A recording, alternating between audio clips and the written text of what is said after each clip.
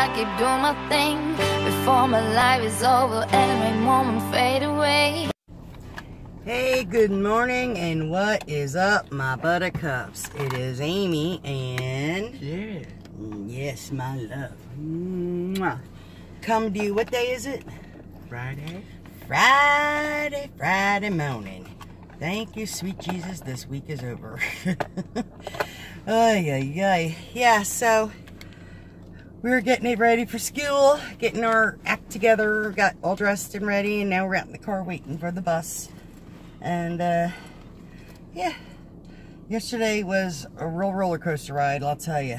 And, uh, just hoping and praying today will be better. Hopefully, hopefully. Jay, are we going to have a good day to bud? Little man, you going to have a good day? Yeah. Yeah, promise.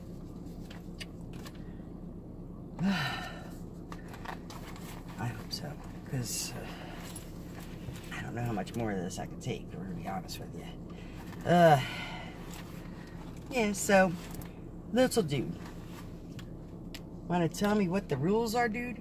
You're hitting with your handstand. Where's he? Sitting in the pants. And we use our, Where? not our, Hand. and there is no, Right here. and no, This here. and no, In your head. And we keep our, and our best. Very, very good. Now listen, if you're hot today, you get hot today, relax. What are you shaking for? What are you shaking for, baby? Um, if you get hot, all you do, look, if you're getting hot and you're mad about it, look at me. Just tell them vest off. Say you don't want the vest on. Yeah. That's all. If that's if that's part of the problem and you're hot and sweaty, just tell the teacher or tell Miss Jackie. Say vest off. Let's start. Yeah. So hopefully they'll listen to you. And hopefully you'll be okay today. I know yesterday when I got him home, man, it was so it's humid now too. Good lord. I mean, like it's only like 73 degrees out, the news said. Feels like it's 90 out here already. I mean, the humidity is so thick you can cut it with a knife. It is. Um, supposedly tomorrow the humidity is going to cut back a little bit. I Hope see.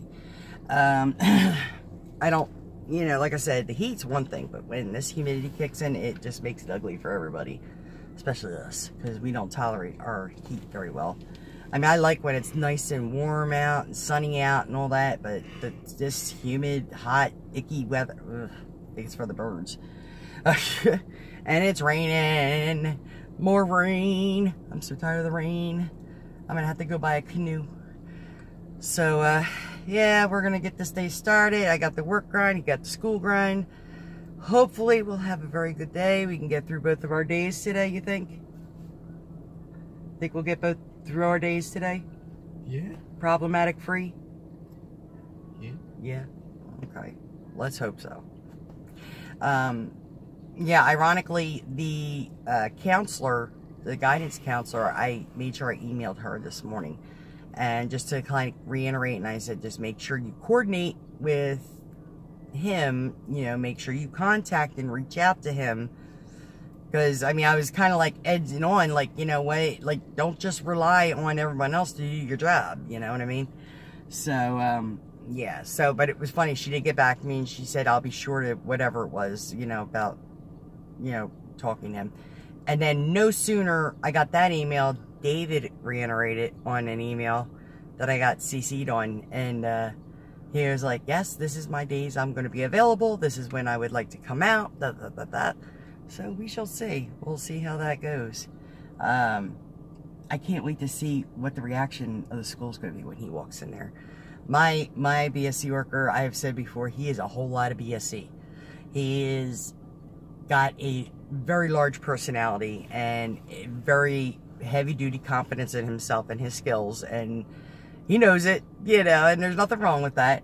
Um, so it'll be interesting to see how he coordinates, especially with the teacher, because the teacher, she's a great teacher, but she's very, very strong-minded. Like she likes things done her way, you know what I mean? And well, we had that discussion last night at the meeting because we've had a couple TSS workers in there, and like every person we've sent in there, like she seems to have a problem with. There's she picks apart something that's wrong, or you know she doesn't like this, or she feels they're interfering too much when they're there.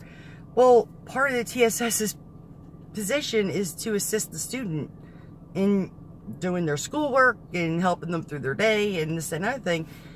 And like any worker that we sent in there, you know, she gets mad when they interfere and she's saying that it's distracting. And I'm like, you know what? That's counterproductive. I said, I don't know what the hell you, you're expecting here because you're asking for help. I'm giving you the help and then you're slapping it away, you know? So, yeah. So it should be interesting because Dave is not what you would classify as a pushover per se. So some of the TSS workers, sometimes they get very intimidated by her. So, uh, I kind of forewarned David about that, and he was like, "Oh," he said, "Yo, get don't worry about that." He said, "That's gonna, you know, we're, we'll definitely deal with that." And I'm like, "Oh, okay." So, uh, yeah. It'll be interesting to see how that turns out.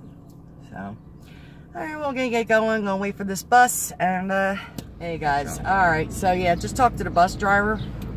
And I asked her, I said, how was his morning yesterday? I said, when he took him to school, was he okay? She's like, Amy, he's been like an angel for like the last two months with no problem. She said, we had one small little incident and I told you about like last week. And she said, other than that, she said, we've had no problems with him whatsoever. So definitely wasn't something that was triggered for the bus. So I guess that's good to know at least this time around. Hey guys, what is going on? All right. Well, we're coming to the end of the day. And boy, was it a freaking day today, let me tell you. You ever have like one of those days you think the universe just said, you know what, screw off? That's exactly how it's been today. Um, Jared had a good day, so that was the plus of the day. Um, however, like between all the phone calls from yesterday, today, and all the conversations I had to have with A, B, C, and D people, um, yeah, I was getting ready to leave for work today. My boss caught me aside and decided to write me up, basically. Um, I got written up basically for doing my job, which I, I still have not figured that whole thing out yet. Um, basically, I, it, it, difficult to explain, but in our farmer's market in the mornings, it's not very busy. So they only schedule one single person, which guess who that is, uh, to run the whole damn farmer's market other than the deli until like 11, 11.30 till the next person comes in. Well, in the process of trying to open the market, getting things straightened up, um, I don't know who works the night before, but they obviously don't do much of anything.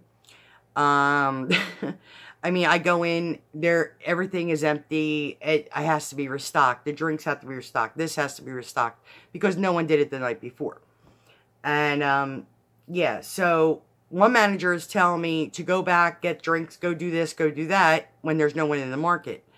Well, rule number one, you don't leave the market alone, you know, and even when you tell the this particular manager, hey, there's no one else in the market. They're like, well, is there anybody else in the market? Is there anybody else coming in? And I was like, no, not until like 11. And then the next question is, well, is there any customers in the market? And I was like, not at the second. They're like, oh, good, just running back and do it. Okay. So I'm listening to one manager and then the other manager writes me up because the first manager tells me to do something I'm not supposed to be doing.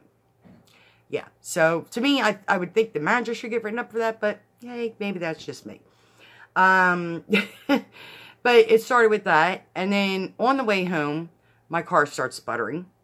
Now, mind you, I have an 05 Kia. The dang thing is 13 years old. It don't owe me anything. I paid cash for it, like two grand for it. But it's my only mode of transportation. And on top of that, the mechanic that I normally use at wholesale wholesale automotive is now closed, so I don't even have a mechanic to get my car towed to if something goes wrong with my car. Um, yeah, so it started sputtering, and I'm like, lovely.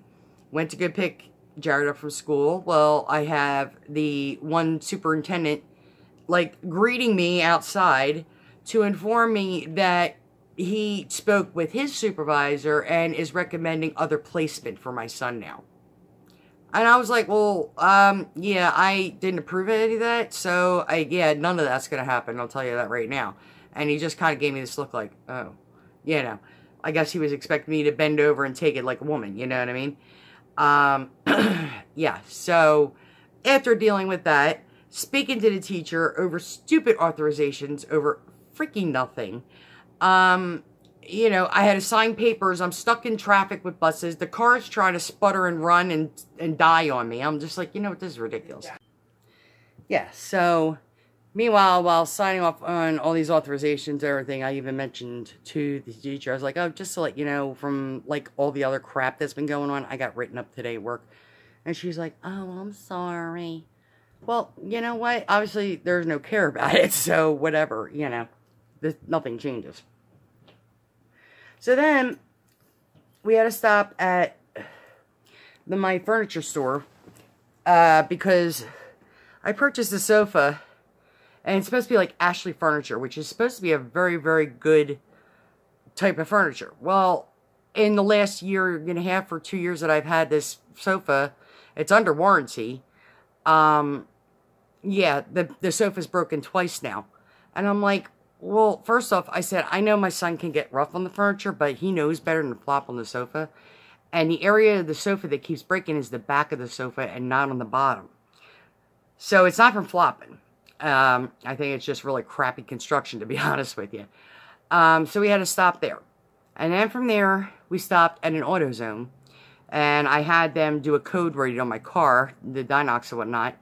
And uh, Uh, my check engine light is still on, but it's still the same evap code that I've had before. It's because of the stupid gas cap sensor. Nothing big. But there's no other codes coming up except for oxygen valve or whatever. Nothing major.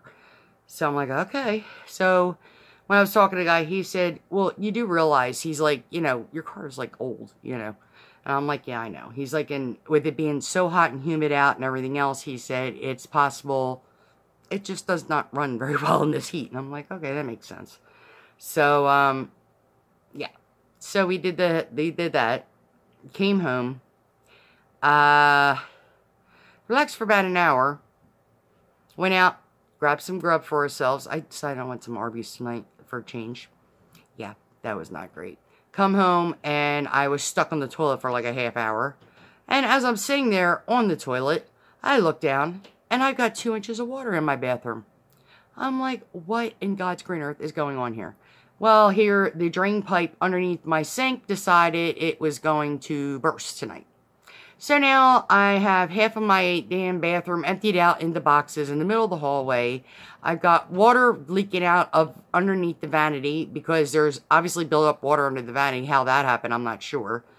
Um, and when I called maintenance, maintenance is like, Oh, yeah, well, that's not an emergency. Just leave a bucket under there. We'll take care of it Monday. Really? I got to go the whole weekend with not even using my bathroom sink now.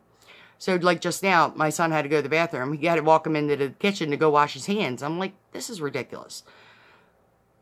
so, it's just been one of those days. It's just one thing after another. And I'm like, so, I'm not even sure what to do with that at this point. I just feel like the universe is saying, Amy, screw you, go to sleep. That's exactly how I've been feeling today. So, uh, God, I am definitely ready for bed. I am definitely ready to end this day. I'm done. I mean, it's like 9, 9.30 at night. I'm just ready to curl up into bed and just say screw the day. You know. And just hope tomorrow will be better. I get to go out tomorrow night, so hopefully I'll get a couple drinks in me. Everything will be good. That's another thing. I wanted to get a bottle of wine. Never did that tonight. And, uh, just like uh, you get so upset about stuff like this, and then you kind of laugh at yourself because you're like, you know what? It's almost ridiculous and obscure at this point. And it's just any other bad crap that could happen from this point on till the till midnight. At this point, I gotta just kind of laugh at it because I'm like, you know what? It this kind of crap just does not happen to everybody. You know what I mean? This is the kind of luck, Murphy's law luck that I end up having all the time.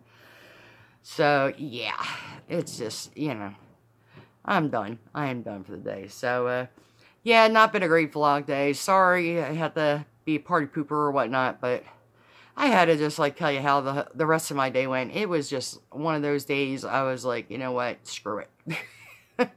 I went and got a shower, got myself all clean and dry and everything, and I'm just, I'm done. I'm ready for bed at this point. So, uh, yeah, not a very happy up-go-lucky video, but, you know, be great if you give it a like, subscribe, and share, and all that great stuff. And you know, the people that got the luck that I do, they'll probably get a comedy out of this. So, uh, y'all have a good night, and I will catch y'all later. I keep going, I keep smiling, I keep doing my things Before my life is over and my chance just take her wings Searching for a mission, life's